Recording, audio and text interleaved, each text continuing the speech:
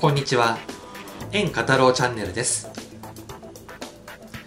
2012年に芸能界を電撃引退された元演歌歌手の幸田真さんが新しい道を見つけ驚きの職へ転職され話題になっています。さらに当時の禁断の引退理由についても赤裸々に語られました。その内容をまとめてお伝えしていきます。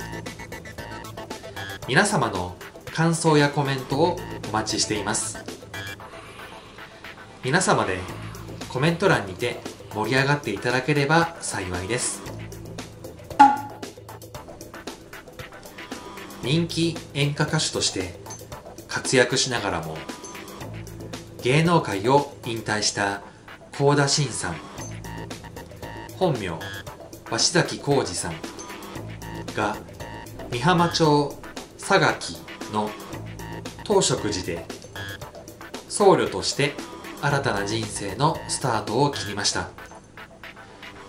同寺には自身の書の作品も展示しており平成元年のデビューだったので30年経って令和元年のデビューとは不思議だと感慨深い様子でした。鷲崎さんは1989年平成元年にデビュー。同年日本レコード大賞新人賞を受賞しました。NHK 紅白歌合戦の出場経験もありバラエティ番組にも出演して人気を博していましたが精神的に限界になってしまったと2012年に引退。当時バラエティ番組で人気者になった幸田さんはグルメのレポートやトーク番組など歌手以外の仕事が多くなっていました。バラエティ番組に出ている時なんで自分はここにいなくちゃいけないのかなって思いながら座ってるんですよ。もう呼ばれないようにしようと思ってわーって無茶をやってみるんだけどそれが逆に受けちゃってそしてコンサートやロケで移動も多くなってくる。そうなるとやっぱり寂しくなっていくんですよ。そのうち歌もなかなか思い通りに歌えなくなってきてしまった。声が出ないというかイメージ通りに歌えない。そうなるとトークでごまかしたり演出でごまかしたりして逃げるようになった。どんどんと精神的に追い詰められてそれで芸能界から逃げ出したんです。ファンの皆さんに対して本当に申し訳ないと思っています。応援してくださった方々に謝らないといけないですね。申し訳ないという気持ちは今でもあります。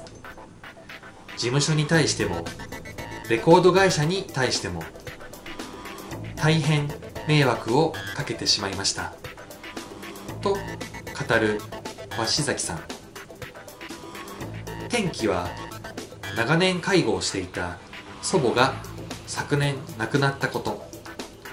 最後まで自分でお経をあげたいと考えていたところもともと交流のあった同寺の僧侶から仏門の道に入ることを勧められ11月に同寺で得度式をしました。